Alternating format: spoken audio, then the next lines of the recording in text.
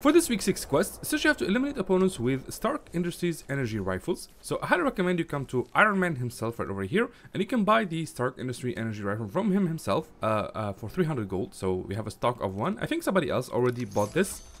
So it usually has two, if I'm not mistaken.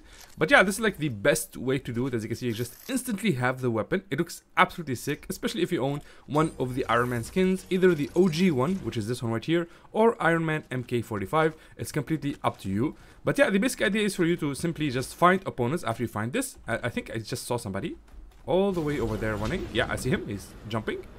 And somebody might be in this car because uh, this supply drop is probably Come on, dude. Don't run, man. Ah, man. I really wanted to get into it.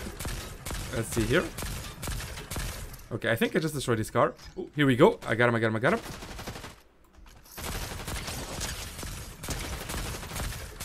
Man, when you scope in, this thing hits like a truck, dude. Holy moly. So yeah, that's one out of five as you can see. Ooh, we got somebody else. I think it's the same guy from earlier. He um, like healed his car and came back. But yeah, this is the basic idea, guys. You can either just eliminate players using this uh, like Stark Industry Energy Rifle, or you can go to one of the nearest uh, like POIs, such as Doomstadt, maybe uh, Doom's Courtyard, or even the Raft. Like the closest ones is the Raft and Doomstadt. You can just get the Energy Rifle from here and make your way to Doomstadt as fast as you can.